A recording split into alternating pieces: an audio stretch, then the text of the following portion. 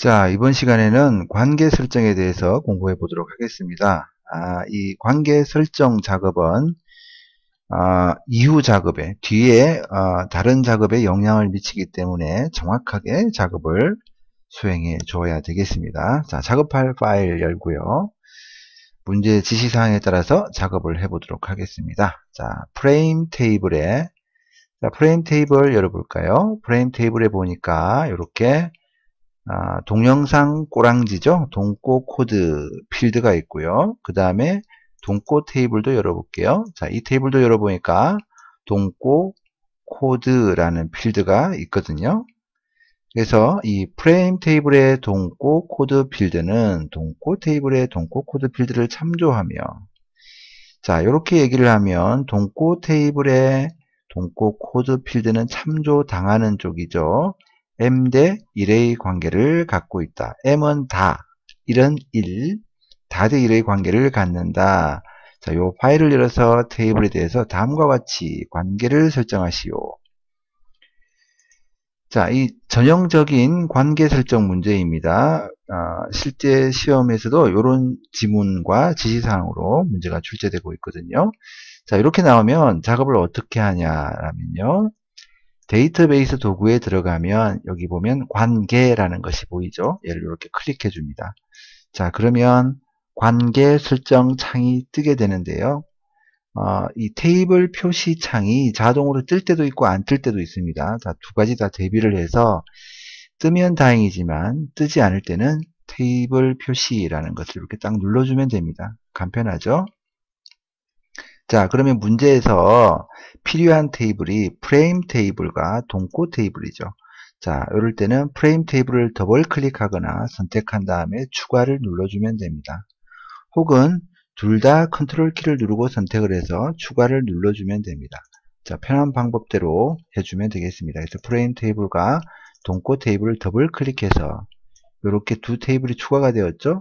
추가가 되었으면 닫기를 눌러서 닫아주면 되겠습니다. 아, 처음 작업할 때만 자세하게 설명을 합니다. 예. 비슷한 작업이 반복될 때는 간단하게 설명하고 넘어가도록 하겠습니다. 자, 그래서 자, 이 프레임 테이블의 이 동꼬 코드 필드는 동꼬 테이블의 동꼬 코드 필드를 참조하며 자, 그러면 참조당하는 쪽이 보통은 1의 경우인 경우가 많습니다. 자, 우리 앞에서 기본 키라는 것을 배웠죠. 자, 동꼬 코드 필드는 여기 열, 열쇠 표시가 있으면 뭡니까? 바로 기본 키라는 얘기죠. 기본 키는 유일한 값, 중복되지 않은 값이니까 1.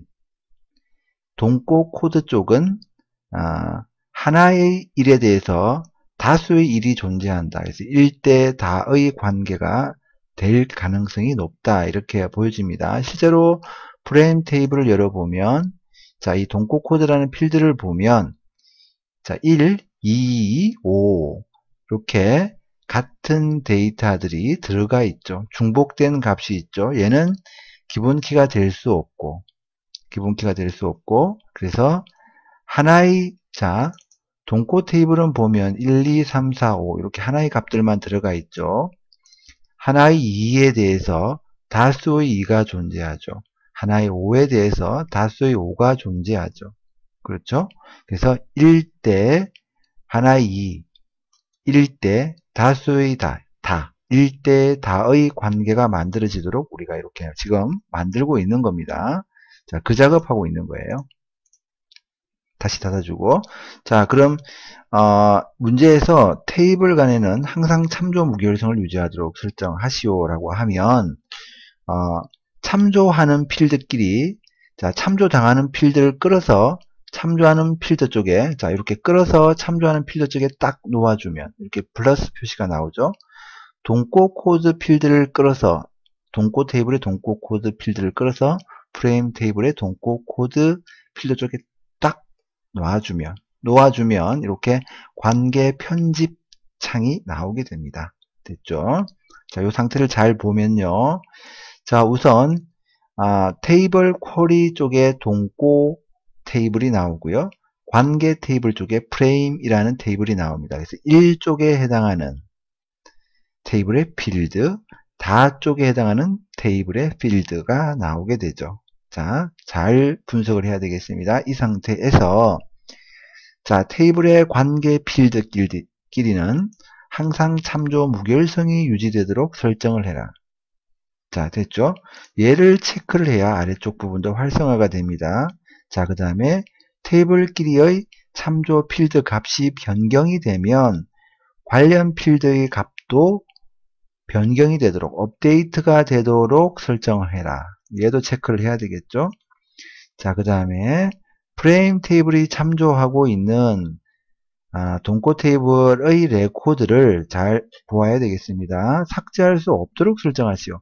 자, 우리 여기 체크를 해버리면 관련된 레코드, 프레임 테이블에 프레임 테이블이 참조하고 있는 동꼬 테이블의 레코드. 바로 이 부분이 관련 레코드죠. 참조하고 있으니까. 자 모두 삭제 체크를 해버리면 삭제가 된다는 얘기죠. 자 문제에서는 삭제할 수 없도록 설정하시오 라고 했기 때문에 이렇게 체크를 풀어줘야 되겠습니다. 이 상태로 우리가 만들기 라는 것을 눌러주면 관련 필드끼리 이렇게 관계선, 조인선이 설정이 됩니다. 다시 이 상태에서 우리가 편집하고 싶으면 관계선 부분을 더블 클릭 혹은 관계선 부분에서 오른쪽 마우스 버튼 클릭해서 관계 편집 클릭해주면 되겠습니다. 자 이렇게 해서 닫고 어, 변경한 내용은 얘를 눌러서 저장을 해주면 되는데요. 자 여기서 이제 우리가 어, 이 관계 형식에서 변경한 내용을 저장하시겠습니까? 얘를 눌러서 저장을 해주면 되거든요. 이렇게 얘를 눌러주세요. 아, 자, 여기서 우리가 알아두어야 될 부분이 무엇이냐면 항상 참조 무결성이라는 말이 무슨 말인지 이건 알고 넘어가야 되겠죠. 어, 무슨 말이냐면요. 참조하는데 에, 결점이 없어야 된다. 뭐 이런 얘기 좀 되는데요. 자, 그게 무슨 얘기냐면 아까 우리 동코 테이블과 프레임 테이블 열어보았을 때 1대 아, 다의 관계라고 했죠. 하나의 2에 대해서 다수 2가 존재한다. 자, 그러면 항상 참조 무결성이라는 원칙, 규칙이 지켜져야 되는 이유는 아, 데이터베이스에 우리가 데이터를 입력할 때 사용자가 실수 없이 실수 없이 무결점의 데이터를 입력할 수 있도록 강제하는 규정을 만들어야 되기 때문에 바로 이러한 항상 참조 무결성 법칙이 필요한 것입니다. 무슨 얘기냐? 항상 참, 조 무결성이라는 것은 그것은 자 관련 테이블 쪽에 있는 이 데이터 여기서 얘기하는 것은 프레임 테이블의 동꼬 코드 필드에 들어가 있는 이 데이터 값들은 아, 기본 테이블 1대 다에서, 다에서 1대 다의 관계에서 1쪽에 해당하는 테이블이죠. 기본 테이블의 동꼬 코드 필드에 들어가 있는 이 값, 이 값에 없는 값은 여기 입력할 수 없다라는 것입니다. 항상 참조 무결성에 여러분이 체크를 하게 되면 이 규칙을 아, 두 테이블의 관련 필드끼리 가지게 되면 여기에 없는 값은 여기에 입력할 수 없다라는 규칙이 정해지게 되는 겁니다. 자, 그렇죠. 그래서 사용자가 만일 여기에 여기에 없는 값을 여기에 입력하면 규칙이 어긋난다라는 경고창이 뜨고 실수의 여지 자체를 없애버리는 거죠. 어, 그래서 아주 중요한 부분이다라고 할 수 있습니다. 자, 그것만 잘 알고 있으면 됩니다. 아, 항상 참조 무결성이 뭐다? 그런 개념이다라는 것만 알고 있으면 되겠죠. 자, 계속해서 비슷한 문제 풀어보도록 하겠습니다. 아, 역시 데이터베이스 도구에서 관계라는 곳에 들어가서 작업을 하면 되겠고요. 자, 필요한 테이블들을 테이블 표시를 눌러서 추가하도록 하겠습니다. 우선 동아리 테이블이 필요하고요. 그 다음에 더블 클릭하면 됩니다. 교수 테이블이 필요하고 문제 지문을 빨리빨리 파악을 해야 되겠죠. 출제 유형 2.ACCDB입니다. 그 다음에 회원 테이블 자 이렇게 추가를 해주면 이런 형태로 테이블이 추가가 되겠죠. 자 동아리 테이블에 동아리 테이블에 지도 교수 코드 필드는 교수 테이블의 교수 코드 필드를 참조하고 자 그러면 얘는 참조당하는 것이죠. 참조당하는 교수 코드를 지도 교수 코드 필드 쪽으로 끌어다 놓으면 이렇게 관계 편집 창이 뜨고요. 자, 이 상태에서 각 테이블 아래쪽에 세부 지시사항을 보면 각 테이블 간에는 항상 참조 무결성 유지 설정하도록 하고요. 자, 교수 테이블에 교수 코드 필드가 변경이 되면 동아리 테이블에 지도 교수 코드 필드가 같이 변경이 되고 관련 필드 모두 업데이트 되라는 얘기죠. 그 다음에 동아리 테이블에 동아리 코드 이것은 이제 뒤쪽에 작업을 하면 되겠죠.